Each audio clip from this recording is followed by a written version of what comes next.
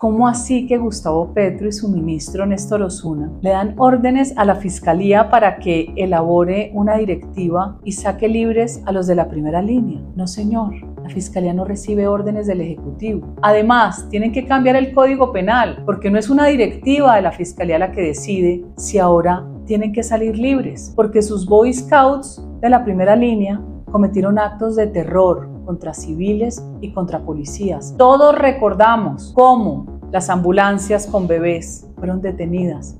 Los bebés se murieron. Todos recordamos al muchacho degollado por una guaya, iba en una moto. Todos recordamos a la señora que no propiamente estaba vagando ni consumiendo drogas, seguro venía de trabajar y la arrolló un bus de Transmilenio, conducido por estos psicópatas de la primera línea. Así no es. Y haremos todo lo posible por impedirlo porque a ustedes se les olvidó que en estos procesos hay víctimas, víctimas reales, no sus víctimas imaginarias, porque ahora quiere convertir a sus instrumentos de la primera línea en víctimas. Pues no lo vamos a permitir. Ni Gustavo Petro ni el ministro Osuna van a estar tranquilos haciendo lo que se les da la gana. El Código Penal se cumple y el respeto de las víctimas a verdad, a justicia, a reparación y a no repetición, además es una obligación convencional.